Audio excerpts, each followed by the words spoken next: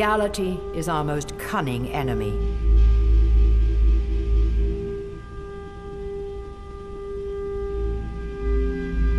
It strikes at that point in our hearts where we least expect it, and where we have provided no defense.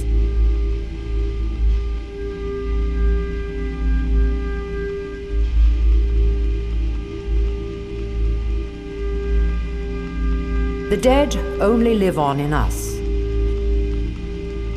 And we constantly beat ourselves, remembering with pain the blows that we inflicted on them.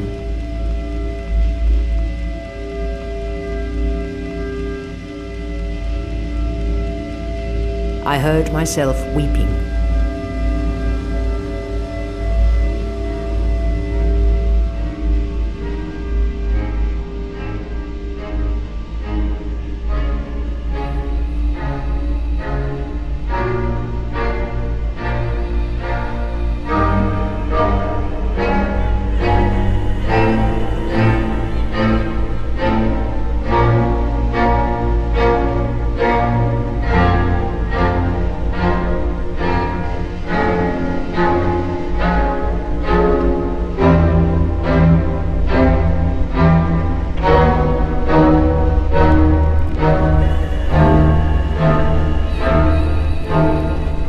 Rarely happens that creatures who played a great part in our life suddenly fly out of it.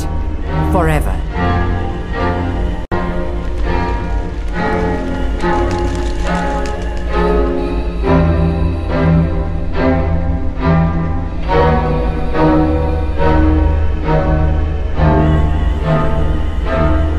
They come back, and sometimes land, making people believe that love is starting again before leaving us forever.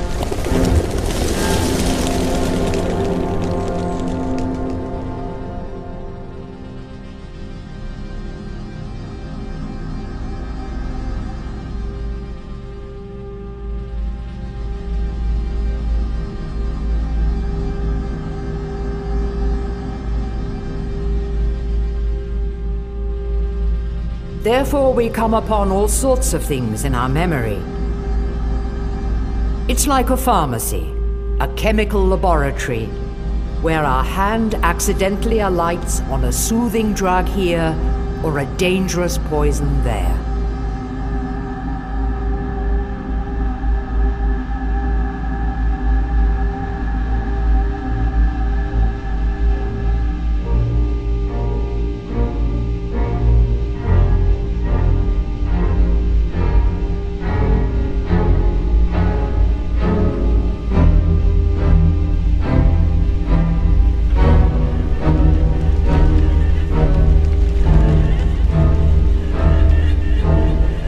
Think about what will happen after we die, don't we project ourselves as living beings?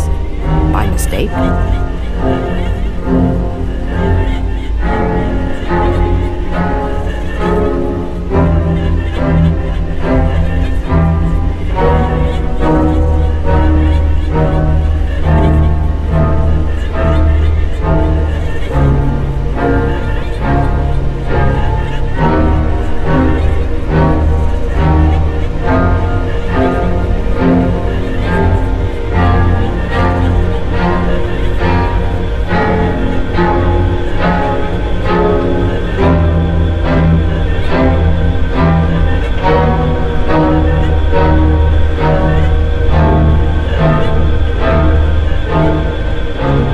When we realize that suffering is the best thing we can encounter in life, we shall view death without terror. Almost as a kind of liberation.